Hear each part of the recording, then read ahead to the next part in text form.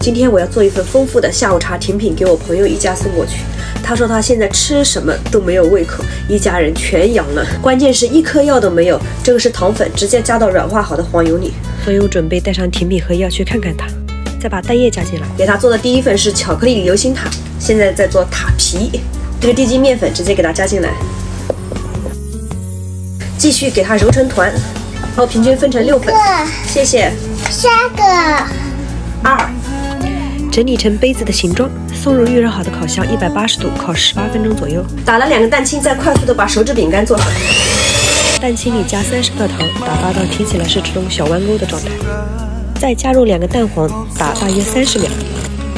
筛入六十克的低筋面粉，给它轻轻的拌匀，尽量给它挤得均匀一点。搓的 OK 吗？一百八十度烤十五分钟左右。烤好了，立马拿出来放凉。先把马斯卡彭给它软化上，再做流心塔，淡奶油加巧克力融化。巧克力奶油融化好了，放在一旁备用。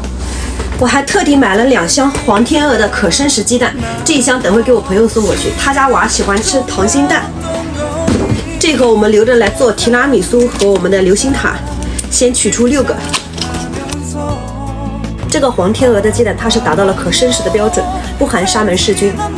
不用担心吃了会闹肚子，而且你看它的颜色也很漂亮，里面还含有天然的类胡萝卜素，而且它这个里面一点点的蛋腥味都没有。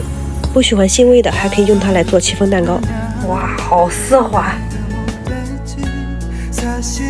拿去冷藏两个小时定型，再来做提拉米苏糊。四个可生食的蛋黄加四十克零卡糖，打发到这种蓬松发白的状态，然后再把这个陈皮加进去。再加半杯橙汁，特殊的时期尽量多补充点维 C 哦。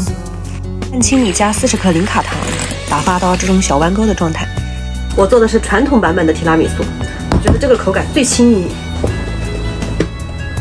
最后再把马斯卡彭糊和蛋白霜混合均匀。还有今天这个手指饼干烤的好脆。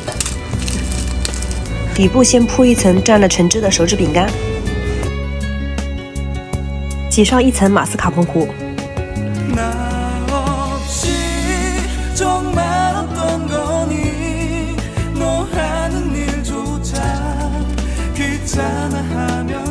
盖好盖子，拿去冰箱冷藏四个小时以上。流心塔还有我们的提拉米苏都冷藏好了。哇，这个流心塔我看着真的好想吃一口啊！上面再用新鲜的橙子给它装饰一下。你看着这个香橙提拉米苏都要咽口水了，但是我还得忍住不能吃。再去把药拿过来，他拿一盒这个布洛芬，两瓶小朋友退烧药。差点把黄天鹅的鸡蛋忘记了。